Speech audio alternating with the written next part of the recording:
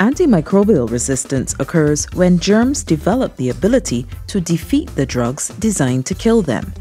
The misuse of the same antimicrobials that are used in people, animals, and the environment is the major cause of the global increase in drug resistant germs.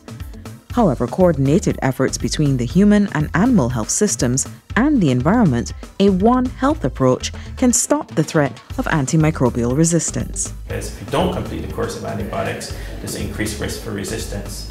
I think more importantly, um, we should not use antibiotics when they are not indicated, meaning that you shouldn't go to your friendly pharmacist to try to get antibiotics for example. So cough or cold, don't go to the pharmacist to ask for antibiotics when it's not prescribed. People often don't complete the course of the antibiotics and sometimes they give them to their pets.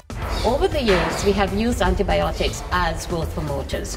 However, we have realized that that is not the way we should be doing it. We should only use antibiotics if there is a problem or a disease condition that we're treating. The environment can also become polluted from animal excretion and also from humans who discard these drugs through throwing them down the drain, flushing them, or just discarding them into the environment. Antimicrobial resistance is a big problem, but we must all be a part of the solution.